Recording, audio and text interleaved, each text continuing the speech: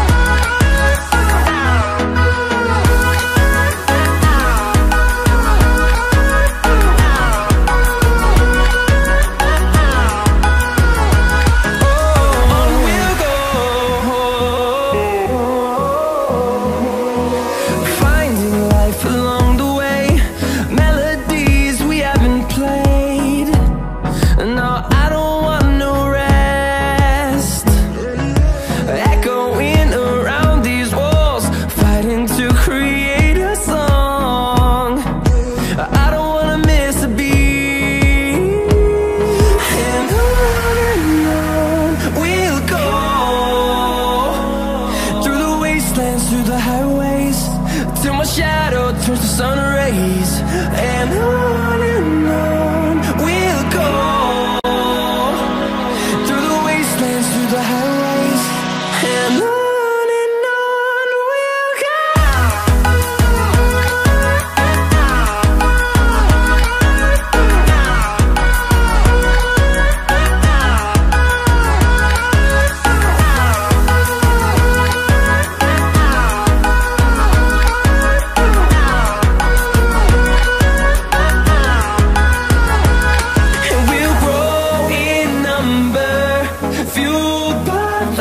see